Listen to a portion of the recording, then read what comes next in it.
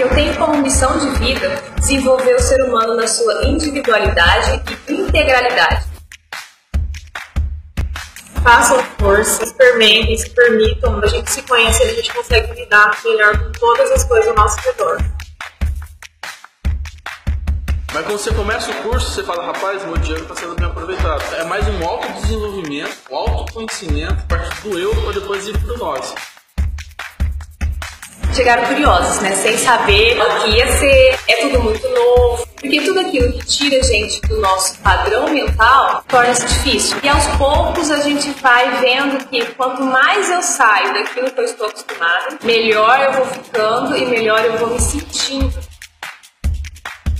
E o curso ele as ferramentas para você lidar com isso. Você não cria uma teoria na sua cabeça e aplica na sua vida, não. Você pega algo que já é concretizado e tem efeitos reais. Aí você pega as técnicas dentro do curso e vai deslanchando.